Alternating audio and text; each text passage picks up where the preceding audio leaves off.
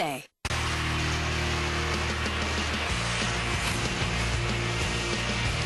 Hello, American Idol fans. I'm back. Chikezie here, and you're watching the best Idol pre-show on earth. Yes. Thank you. That was beautiful, man.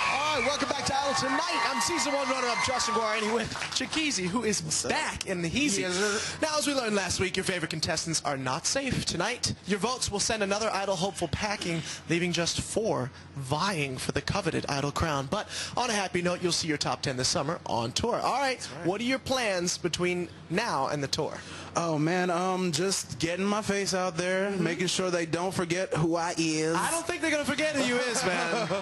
Some appearances? yeah, appearances and things like that. Um, and basically, I'm just gonna hit the gym and Yeah. get ready for that tour. Get all 'cause, I buffed mean, up, Yeah. yeah. you know, get get svelte, svelte, Svelte, Yes, svelte, svelte. ja. Yeah, it's going to understand. It's going to be a busy tour Yeah. and a lot to uh, lot to do. All right, let's shoot it over to Rosanna. What do you think? Yeah, All right. in the audience. idea. Good All right, what's up, bro? Well, we have a very inquisitive Courtney here who has a question for the Idol contestants. What would that be, Miss Courtney?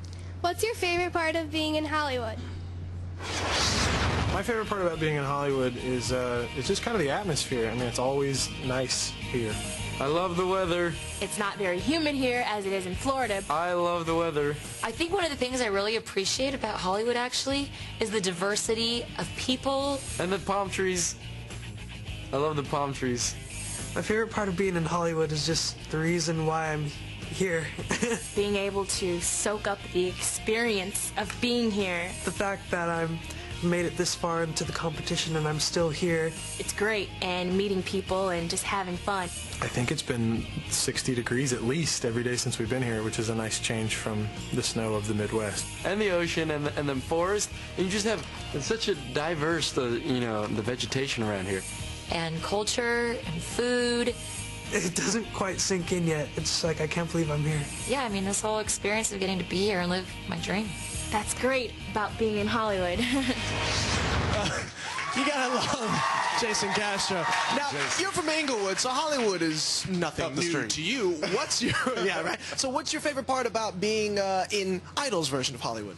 Um, probably. Uh, I mean, cause I mean, being in Inglewood, we're not. We don't really have like everything's not that like high class and expensive and everything like that. Hey, it's a matter of perspective, man. Yeah, we work it out though. We work it out. We make it yeah, happen. I'm not. I'm not complaining. Right. But um, just just seeing that other side, you know, because I mean, you watch it on TV.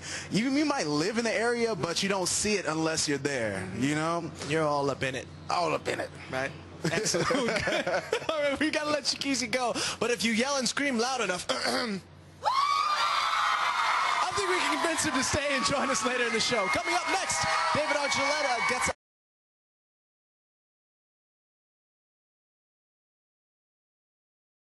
Take on Syesha and Brooke tonight on Fox.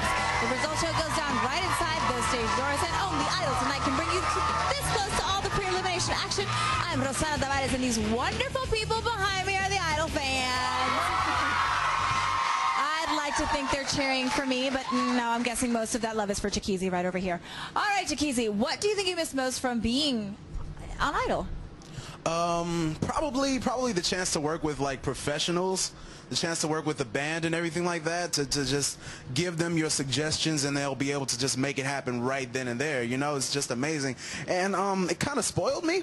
How did it spoil you? Because now it's it's like I'll, I'll work with somebody else and be like, okay, so we're gonna do this with a hip hop twins. It's gonna be uh, more East Coast than West Coast, and they're like, eh? They have no idea, but you can actually do that on the show. All right, now here's a, a trickier question. What do you wish you could forget? Ooh, well, I wish I could forget. Ah, from being on the show. Maybe a song that you did, or maybe an outfit that you wore, Are something you of the at something? I like all your outfits. Maybe what are you outfit, talking maybe about? a suit. I'm trying to just like you know jog your memory here. Suit. No, no. I love my suit. Thank you very much. No, um, something I could wish I could forget. Uh, probably during one of the group numbers, Okay. dropping my mic pack. And it's on That's the ground, lovely. and I'm dancing around it, trying to get it. And then I finally, we were doing a turn, right? So I do this. I bust one of these. Uh, uh, uh, Well, that was a good good thing you saved it. You saved it. That's what a true performer does. All right, you guys know the drill. It's time to revisit Tuesday night's Idol performances. Next up, we've got David Cook's Road to Hollywood. Here he is singing, I'm Alive.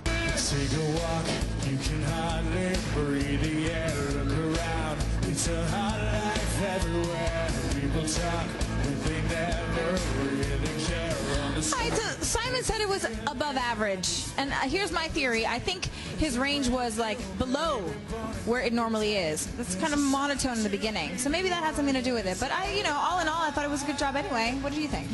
Um, it's it's it's a tough call because I'm hearing what you're saying. It, it was really low. I mean, he has a, a much higher range than what he's saying there.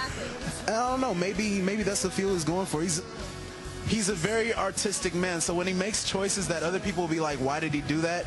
He has he has his reasons. He always has his Well, and reasons. he's already proven that he has an amazing range, so you know sometimes he can go there. All right, and for song two, David sang "All I Really Need Is You," which Simon called brilliant. Check it. And each time I start to think what it is. Do you agree with Simon? Yes. It's pretty brilliant. Was yeah, pretty I mean, brilliant. what he does, what's so great about David is he takes everything and just, I mean, like everyone says all the time, he put, he makes it his own. He just does that, and he can do that with just about any song that comes his way. He's, He's really a good impressive. arranger. That's what it is. He's a great quite good. arranger. All right, you guys. Now let's go to the fans where Justin Guarini is getting the goods on David Cook. What up, Jay? What up? Thank you very much. I'm here with Natalie. Now, tell me, what do you like about David Cook? What don't I like about David Cook? Do you swoon when he sings? yeah, I get the goosebumps and all that. I mean, he's awesome. You and my girlfriend. There's no way around it. Back to you guys on the stage. What don't I like about David Cook? What? All right, thank you so much, Justin. Up next, Chikezie is going to tell us his plans between now and the Idol Tour. Plus, see why Randy said Syesha is in the zone.